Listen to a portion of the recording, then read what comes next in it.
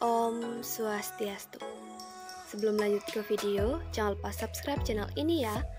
Dan jangan lupa tekan tombol lonceng agar kalian mendapatkan notifikasi mengenai video-video terbaru dari channel ini. Tekan like jika suka, share jika bermanfaat, dan jika ada pertanyaan, ketik di kolom komentar ya. Nama saya Nikada Aisri Cedewi, bisa dipanggil Ayu. Saya merupakan perwakilan dari kelas 10 MIPA 5. Nah, kali ini saya akan membahas sesuatu mengenai sekolah saya, SMA Negeri 2 Abiansma. Stay tune ya.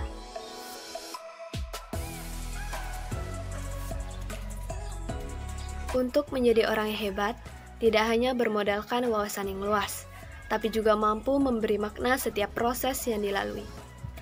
Proses inilah yang nantinya dijadikan sebagai pengalaman yang memiliki makna yang luar biasa besar terhadap masa depan.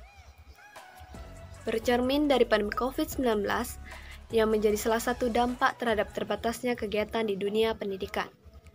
Maka mengharuskan sekolah memiliki kiat-kiat agar para siswa mendapatkan pembelajaran dengan baik tanpa menghilangkan makna pendidikan sebagai proses menanam nilai serta karakter bangsa. Tanpa pendidikan, mustahil jika kita dapat tumbuh dan berkembang sejalan dengan aspirasi atau cita-cita untuk maju. Maka, adapun harapan-harapan yang ingin saya sampaikan di ulang tahun SMA Negeri 2 Abian Semal yang kedua tahun, agar menjadi sekolah yang lebih maju dan berkualitas.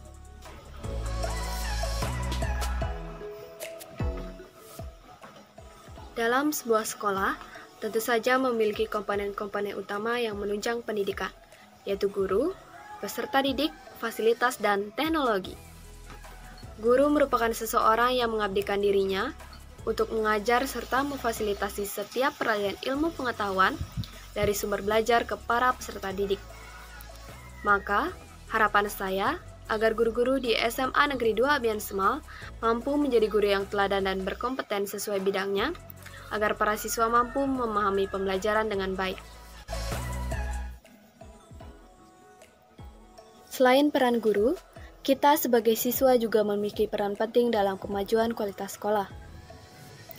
Harapan saya sebagai siswa, kita harus terus meningkatkan potensi diri, baik melalui menerapkan karakter bangsa, menjaga keharmonisan antara semua siswa, melatih kemampuan akademik dan non-akademik.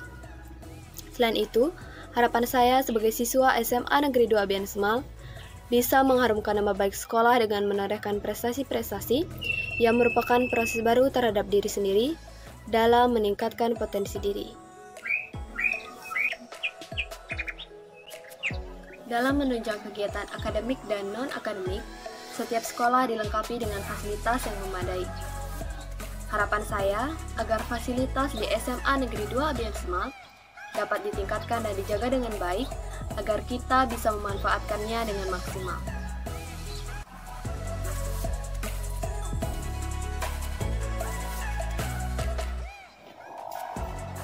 Nah, sekian vlog kali ini dan tak lupa saya mengucapkan selamat ulang tahun untuk SMA Negeri 2 ABN Semal yang kedua tahun. Semoga semakin maju dan jaya, jaya, jaya. Saya tutup dengan Parama Santi. Om Santi. Santi. Santi Om